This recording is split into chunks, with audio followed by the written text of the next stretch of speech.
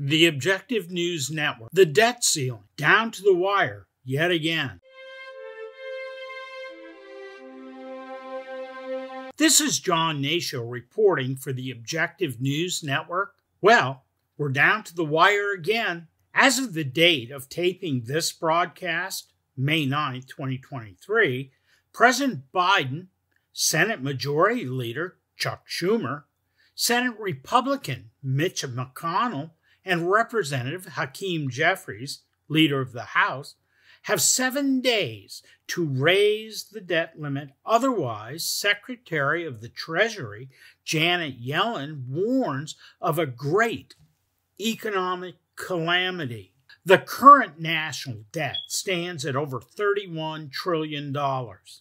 This includes paying for federal employees, the military, Social Security, and Medicare, as well as interest on the national debt and tax refunds. The debt ceiling has been raised 74 times from March 1962 to May 2011, including 18 times under Ronald Reagan, 8 times under Bill Clinton, 7 times under George W. Bush, and 5 times under Barack Obama. In practice, the debt ceiling has never been reduced. In the face of this terrible fiscal mismanagement by so many past presidents and Congress, the exponential rise in the huge size and growth of the national debt has now grown to over 100% of our gross domestic product. So, why is it so important to reduce our national debt?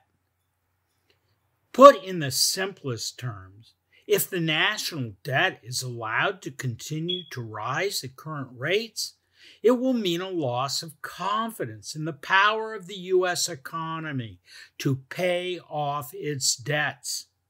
This means our country will have less investment Investment is essential to make our GDP grow, which in turn holds the promise of making more money than we as a nation spend. And if you don't believe the consequences of delaying the inevitable, like we are doing right at this very moment, just look back to 2011, the last time the U.S. was seen as at serious risk of default.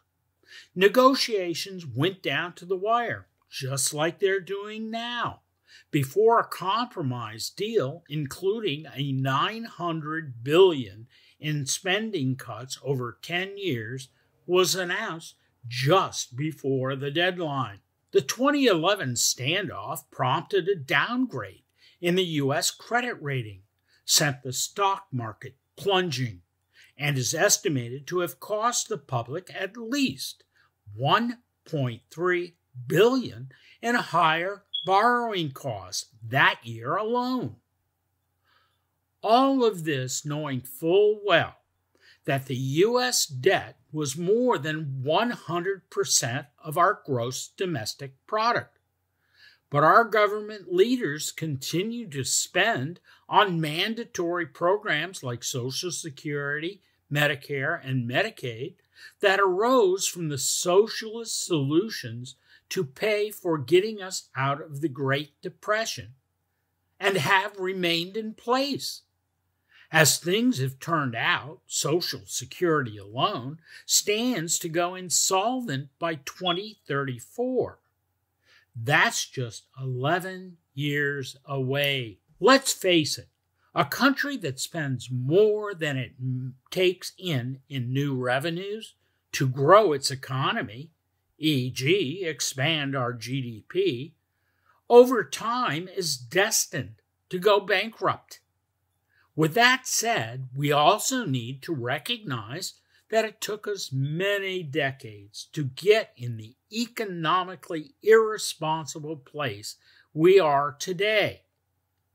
In order to avoid our own future economic failure, America must move to regain the world's confidence in the U.S. dollar by avoiding yet another credit worthiness downgrade, like we experienced after the 2011 debacle of trying to avoid the inevitable. At 4 p.m. today, there was an office, Oval Office session among the president, our congressional leaders. Everyone walked away after the meeting with no agreement. Another sad day for our country. Hopefully, President Biden and our leaders will all come to their senses and begin to act in a fiscally responsible manner that is in the best long term interest of the American people and our nation. America needs a plan and a long term plan to solve the problem. It is what it is for May 12, 2023. Thank you for watching, and we and we thank you for taking the time to watch our news broadcast. Here at ONN, we try to objectively analyze the news issues of the day to give you the tools you need to make our country and the world a better place. This is John Hnatio signing off for the Objective News Network. We hope to see you the next time.